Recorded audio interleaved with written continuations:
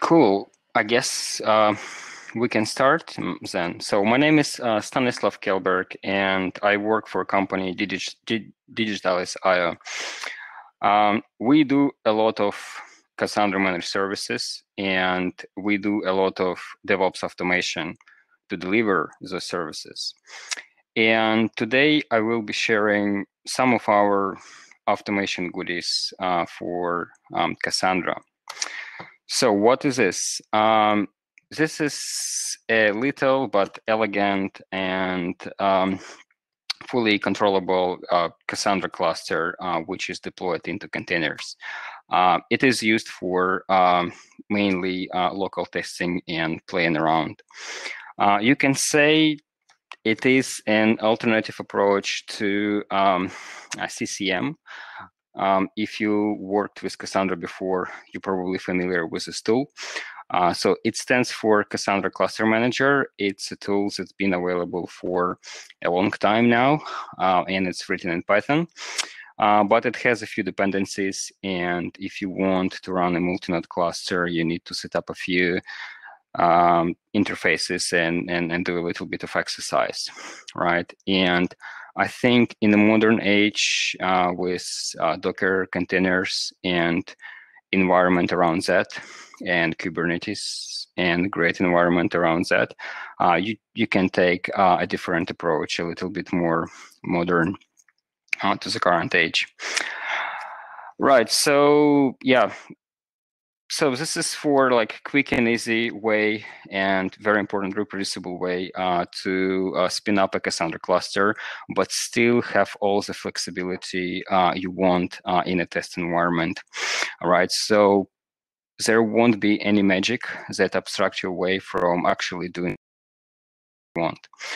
Uh, obviously, uh, this is not for production. however, saying that, um, you can totally run Cassandra in containers in production uh, by using like Kubernetes as a scheduler or other schedulers as well. Uh, it's definitely being done and, and it's uh, already possible. Uh, but it is um, out of scope uh, for this uh, presentation because we just simply don't have time for this. So we're just going to focus on a little environment just to test your stuff. All right, so we're gonna base on the official Docker image, uh, which is quite important. Uh, so if you ever worked uh, with um, Docker Hub uh, before, right, um, uh, you probably seen uh, that there are like official and non-official images, right? And yeah, uh, non-official is just added by random guys and gals, and you don't really know whether you can trust them or not. Official images are trusted, and very importantly, they're maintained, so you don't have to maintain your own image. You don't have to spend time on this, and every time uh, a new Cassandra release comes out, official image uh, would be updated as well. And also, it is security scanned, uh, which is quite important as well, right? Uh, to orchestrate uh, the Cassandra containers and everything needed for that, uh, we will use Docker Compose. Uh, we could have used uh, Kubernetes as well. Uh, you ac actually can use Kubernetes for local orchestration as well. Uh, for example, Minikube is a very popular tool. but I did try that approach, and Kubernetes configs are way more verbose um, and uh, a bit more complex. So Kubernetes is a very advanced tool uh, with much more capabilities, but it's uh, basically an overkill uh, for this purpose. Also, if you would run Minikube, uh, you would have to run all the control plane components on your local machine, uh, which is quite a performance overhead as well. So we're gonna uh, stick with Docker Compose, uh, which is really straightforward and it looks uh, really elegant. And um, out of all uh, options, I guess this is the best fit uh, for uh, for this approach. right? So we won't need to build or maintain our own image. You don't need to change the official image. Um, you actually don't need to rebuild any images at all. So during this presentation, no Docker files will be affected at all or harmed in any way. Uh, but uh, we still have all the flexibility to configure basically anything, like anything uh, you need. Uh, how? Uh, so we're going to use a little hack, right? So it's it's quite easy, really. So basically, we're going to copy all the config files out of the Cassandra Docker image and attach those back as a volume for, for each Cassandra container and mount it back to exactly the same location um, as the original files were.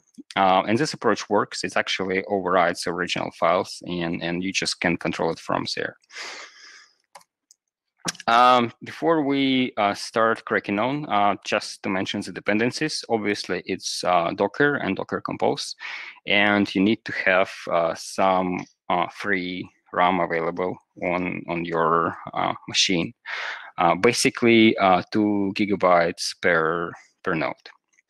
Um, you can actually run it with a little bit less. I did I did run it with less, uh, but um, if you actually plan um, to use this cluster for something, do some tests, uh, you you better to have at least two gigabytes uh, per node, just to make sure it doesn't crash out of memory every now and then.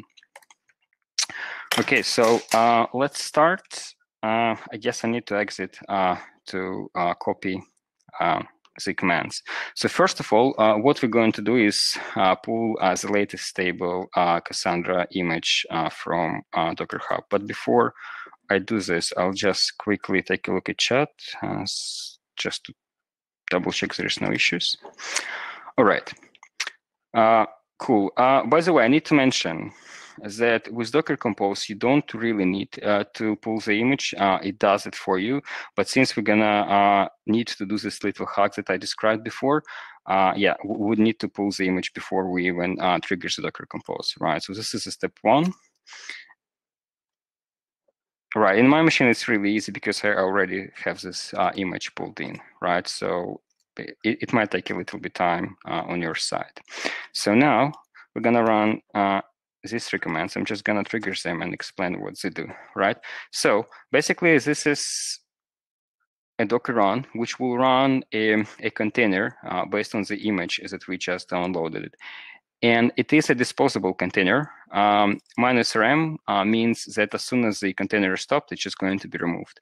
And we only started for a little while, so we can uh, copy uh, the configuration files to our uh, host system uh, from this container right? Uh, as of now, I don't think there's a way to copy uh, the files directly from image. So the most, the easiest way uh, is just to quickly start the container, get the config, and and and delete. So here we have it.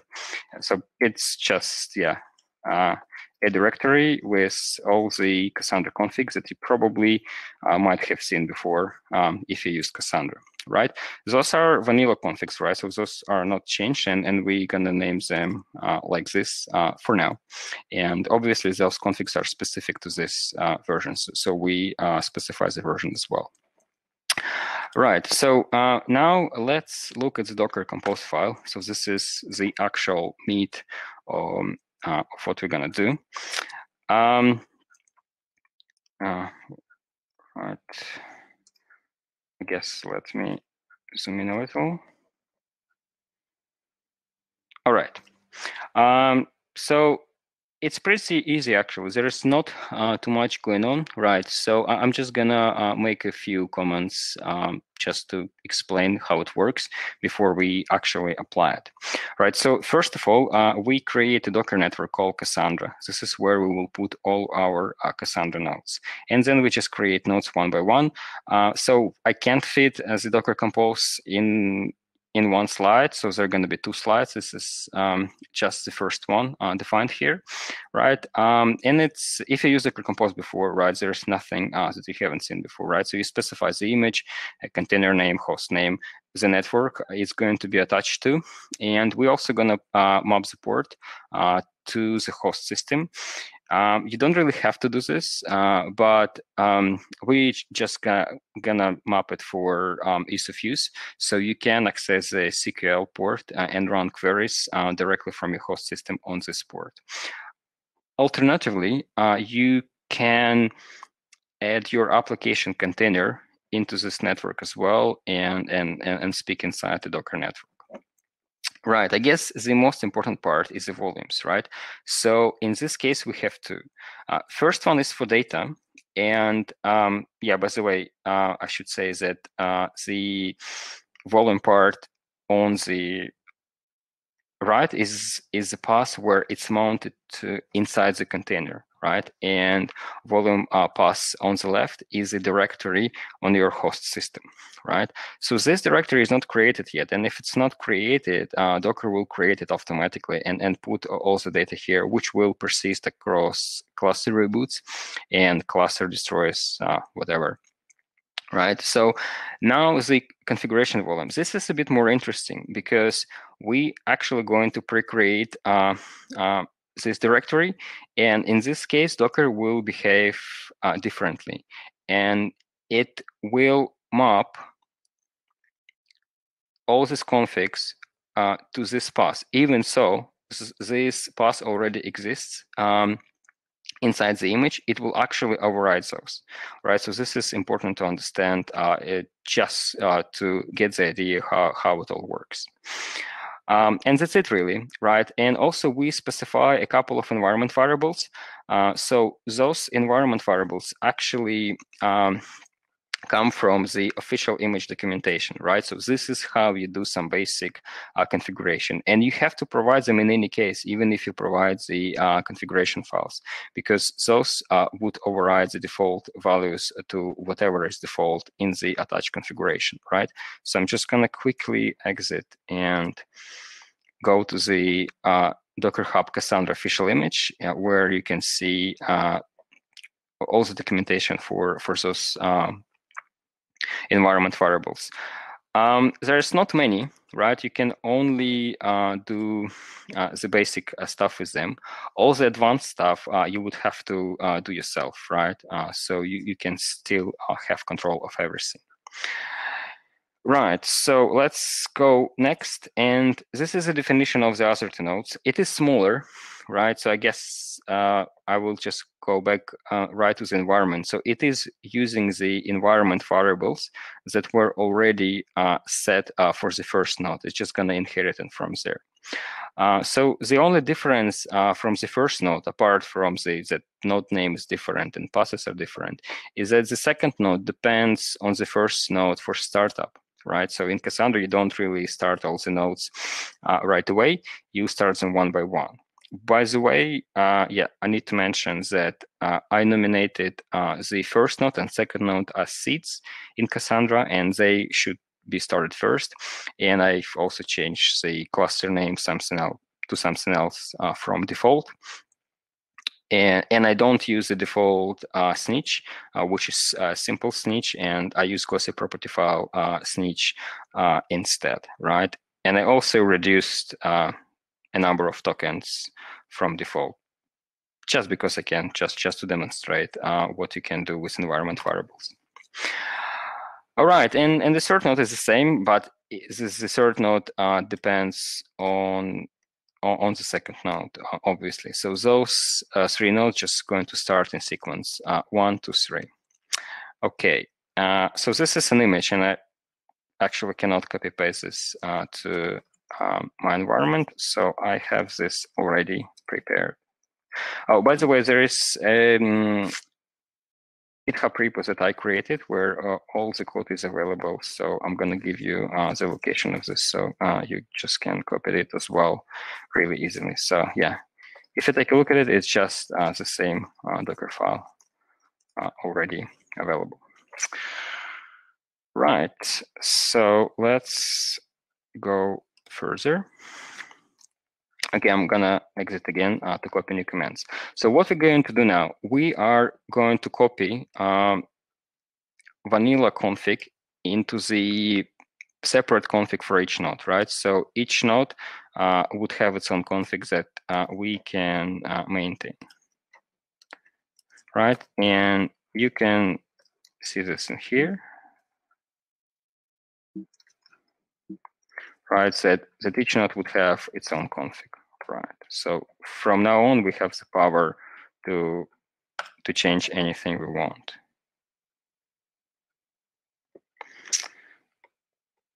All right, uh, so let's start. Right, to start up the cluster, you just need to run uh, docker compose up. Uh, and I add minus d. Minus d means run it in a daemon mode, right? So I still have my prompt returned to me uh, when I run this. Uh, right, uh, then uh, you can run docker ps, see that those containers did start, right? And you can see them with the names cas1, cas2, and, and cas3, right? So now let's um, let's run some commands. By the way, this is how you run commands uh, with Docker containers if you haven't uh, used those before, right? So you do docker exec, and then the name of the container, and then you just run the command uh, you want to run, right? So in my case, I just going to run Cassandra's node tool status, right? So that, just to note, that command runs inside the container, right? So cluster is almost there, right? So almost all three nodes are there. The last one is joining, right? So you're getting there. Okay.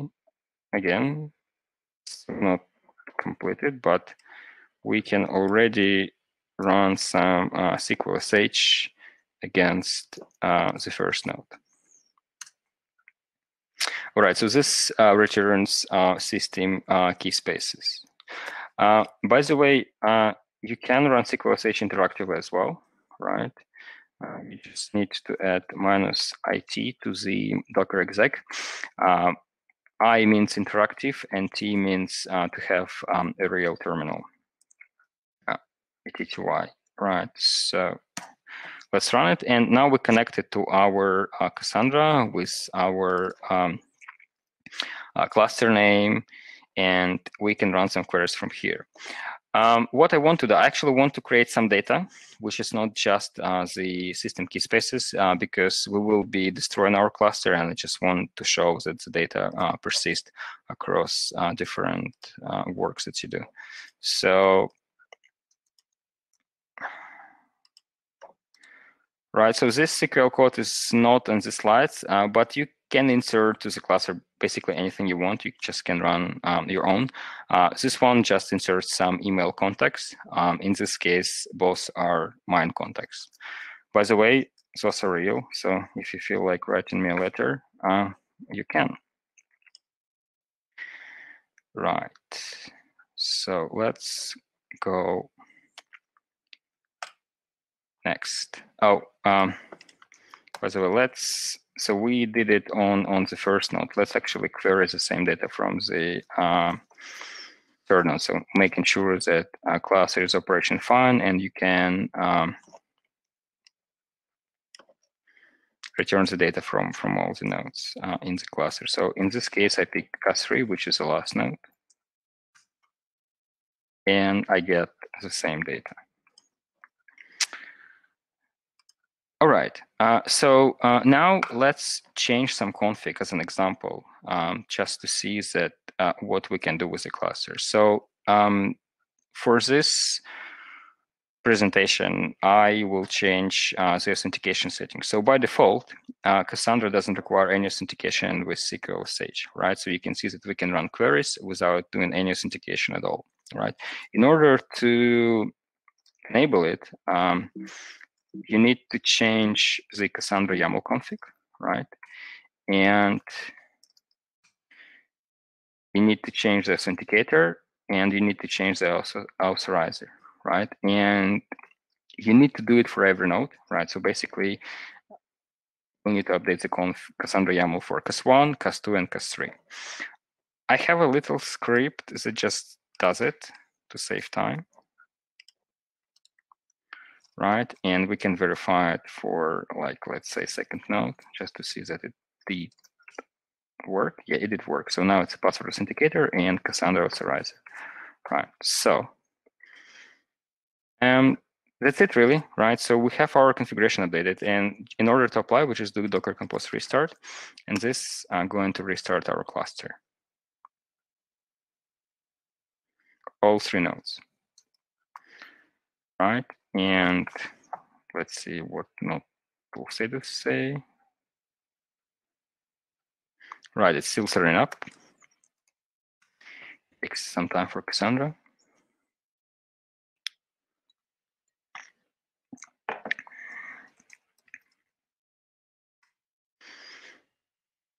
All right, so the cluster is up. And let's run the query again. It doesn't work anymore.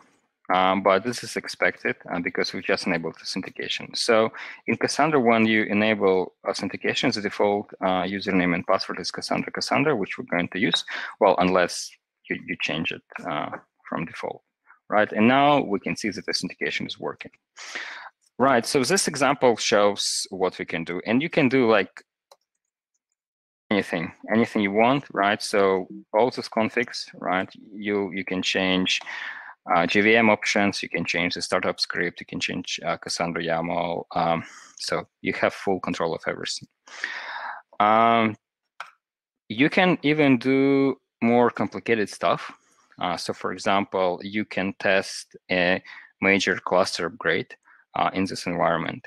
Or you can set up encryption, both node to node and client to node.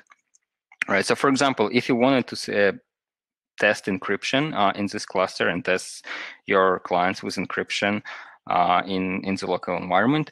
Uh, all you need to do, obviously, you need to generate key stores and trust stores for every node, right? So you need to do this yourself. And then you just put this on the same volume where you have the configuration files attached and then you just change those configuration file to use those key stores and trust stores. And yeah, here you go. You would have your authentication uh, working like it was a real production cluster. So you can test a lot of production-like features uh, on, on your laptop, like uh, without any limits, right? So um, yeah, so here we go. Uh, we have a great cluster, uh, very flexible, and uh, you can uh, and you should uh, put all those configs into your version control, right? Uh, so yeah, uh, it's reproducible and it's not lost. Uh, also, uh, you can manage. So those are those configs are just the files on, on your host file system, right? So you can manage them with something else if you want. You can manage them with your configuration management, for example, Ansible or or whatever whatever else that you use. Um, okay, yeah, and yeah, I need to say that you can also use some of the Docker goodies uh, that are available. So, for example, resource limiting or health checks. I didn't add uh, neither of those uh, uh into the uh, Docker compose in here, YAML, uh, because it just wouldn't fit on, on the screen. Uh, but you can and you should uh, use resource limits and health check, and you can double check the Docker Compose documentation to do this, right? So this will make your cluster a little bit safer and nicer. Uh, also, you can do stuff like you can post your entire cluster when you don't need to use it. Yeah, by the way, let's actually do this, right? I'm not sure um, I have enough going on to really show you how it works, but let's try. So at the moment, I have, uh, uh, not sure. Yeah, I have very little CPU used, like half percent, and I have like uh, 99.5 idle, right? Um, because the class doesn't really do much at the moment, right? But still, right? You it uses almost up to 1%. So let's see what happens when we put the on pause, right? So uh, first, let's just check the current status of the cluster. The cluster is working, and what we can do, we can do docker compose pause, right? And that's it. It paused like immediately, right? All all nodes are frozen, and you wouldn't be able to run any commands anymore, right? So that happens immediately. Let's like look at the top again. All right you can now actually see this already better. We never really had 99, 99 or 100% idle, right? So now it's officially doing nothing, right? So basically, we just frozen our cluster immediately, and it's sometimes useful uh, when you have a big cluster and you have application and you have a lot of testing going on, and and your laptop is really melting, and somebody gives you a call on Zoom or Skype, or you have a conference call, and you just need more performance on your laptop. You just pause the cluster, and when you're done, you just do unpause.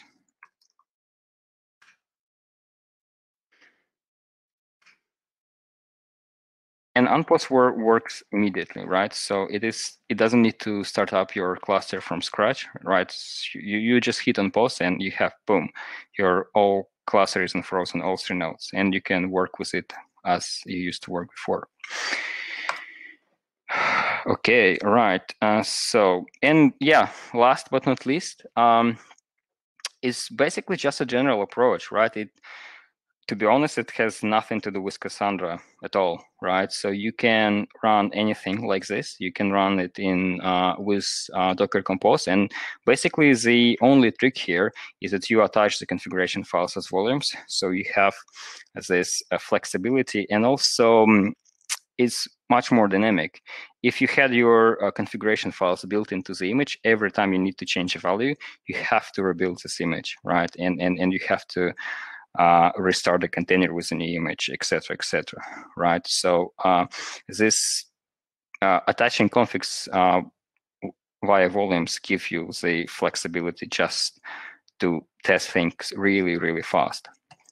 And that's basically what you want because you don't really um, don't want to, to waste time on other stuff uh, when you're testing. Right. So as I said, uh, all the code is available uh, on GitHub. Right. So the repo name called uh, Triple C. You can pretty much guess uh, what it stands for, and it's under Digitalis uh, um, organization. Right. So I'm just gonna quickly navigate to this repo. Right. And so here you have the Docker Compose file example that we used. Right. And also all the steps that we did, all the manual steps, uh, we did it manually just uh, to show uh, the approach, but they just put in, in the sim simple script, right? It basically figures out the version automatically from the Docker file and just does all the manual steps uh, that we did, right? So basically, you don't need to do anything. You just need to run the setup config file, and that's it. From now on, you can uh, start up your cluster and do any testing that, that you want to do. Uh, I guess that's pretty much everything I wanted to show uh, much ahead of time. Uh, well, this just shows how uh, quick and easy this approach is, so you can do this really fast and efficiently. Um, I guess it's probably too much time for questions, so we might do something else, might do something more complicated. So how much time do we have, right? So the session will end at 35 and now it's almost 25 so we have like 10 minutes. All right why not do a major upgrade of the clusters then? Uh, i think 10 minutes should be enough. So um, what do we have now? Right so we have the latest 3.11 version and what do we have on Docker Hub? Right, so we have actually for zero, it's in beta, so probably unstable, but I guess this is not an issue because where else you would test unstable version if not on your uh, local machine. All right, so this is a perfect environment for that. So let's uh, just change this. All right, yeah. So we're actually doing a rolling upgrade, right? So yeah, when you're upgrading Cassandra, you need to do it one by one. And also you need to uh,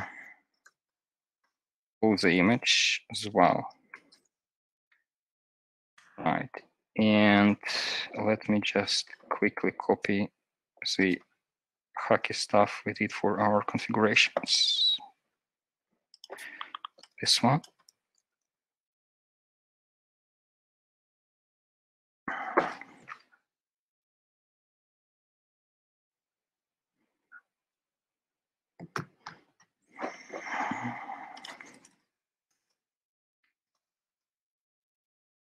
So what I'm going to do, right? So um, I am going to change the image tag for every container one by one. And every time I change something, I run docker compose up and it will automatically uh, rebuild um, the container with the changes it needs to apply, right? Uh, since it's it's Cassandra, we do uh, this exercise one node at a time, right? But since the configuration file would change, we need to um, we need to get those uh, configuration files up to date, right? So I'm going to pull the Right, so that happened quickly. Now we have uh, configuration files, uh, vanilla configuration files for Cassandra 4.0 as well. So uh, since we're going to update the first node, so let's quickly do this and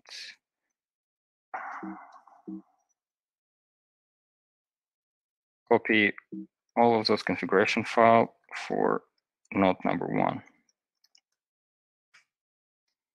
And Tonight, let's do sudo Right, so I guess we're good to uh, do our major upgrade here. Yep, so we do docker compose up again. And now it's recreating Cassandra 1 because this is the only one that changed and all others are up to date, right? And if we do not pull status, hopefully it will start up, right? It's starting up. And what I want to do is I want to do gossip info and grep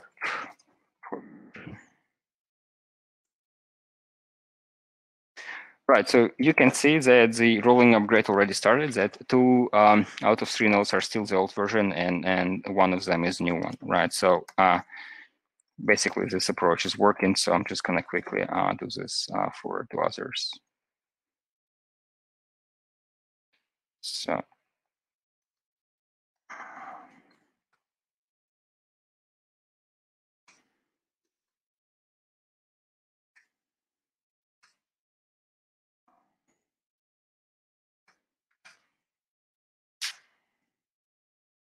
Uh, oh, I did a restart. Sorry, uh, I need to do up minus D. So, okay, that recreated as a node number two, and let's change the last one right away. Hopefully we're not doing this too quickly. And we need a config for the node three. Okay, this looks right. And let's do Docker compose up again. Right, let's do nodetool status first.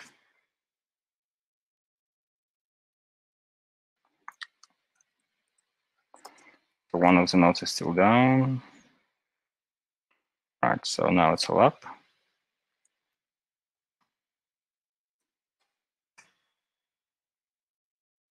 Right, so that's it. Now you can see that all the nodes have uh, the latest uh, version running, right? That basically completes the major upgrade of the cluster. Well, not quite. Uh, if you uh, read Cassandra before, you know that you also need to uh, run upgrade SSTables. Just quickly do this. All right probably not necessary for the demo, but it just I can show you uh, that you can do like everything here. You can do uh, snapshots, backups, SSTable upgrades. Uh, basically, whatever you do in production, you can test on, on your local machine really easily. Right, so that did the upgrade, and I'm just going to run the query uh, that we used to run. Just to see that our data survives the upgrade. It indeed survived. Right. So that's it. Uh, we just did uh, a major uh, version uh, upgrade of a three node cluster in five minutes, which I think is not bad. Uh, so I guess now it concludes uh, this presentation. And if you have any questions, it's a good time to ask yeah, by the way, while while you type in your questions, uh, if there are any, so here are my contact details, and also um, you can find as a blog post on the same topic, uh, which is a little bit more verbose other than this presentation. It's a little bit more detailed, right? So you just navigate to digitalis.io slash blog, and you can find uh, this blog post in there and other great blog posts by my colleagues as well. So let's see if there are any questions. Right.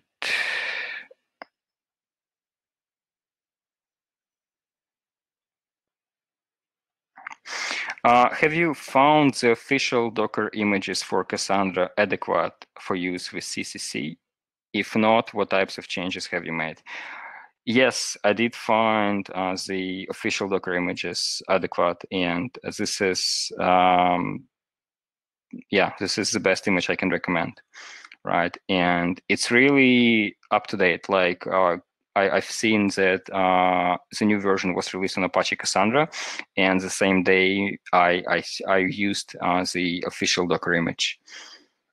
Uh, so yeah, and you don't really need to change anything at all like at all. So this is the uh, nice thing about it. So if you if you don't you know fork or don't do any changes don't create your docker file don't reuse it it make, makes it like way way simpler. So you always uh, rely you know always start from a blank slate. Always rely on uh, on the official image. Right so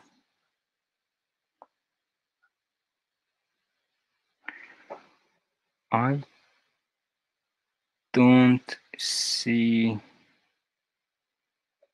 any more questions. Yeah, uh, as I mentioned before, um, you can use uh, this approach for other stuff, right? Um, yeah, by the way, uh, if you haven't uh, tried uh, the latest Cassandra 4 yet, I guess you you should, right? Because the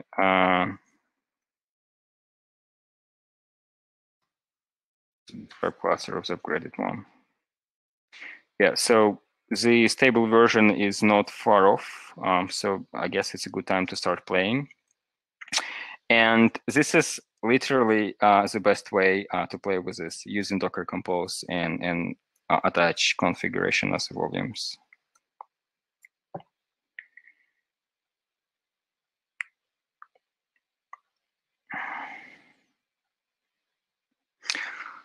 All right. Uh, we have two more minutes uh, before this ends. Uh, I don't see any more questions. So yeah, uh, I'm just gonna open my contacts again. Um, I guess those will be provided in some notes uh, by by the organizer. I'm not really sure how it works, but I'm just gonna keep it on on screen uh, just in case. Yeah. Also, you can find me on LinkedIn. Just uh, search uh, for Stanislav Kelberg. Um, I'm the only one there with such name. So friend me. Right. Last minute, and I don't see any more questions. All right. I guess uh, we can end it here then. Uh, thanks for attending. I hope it was useful.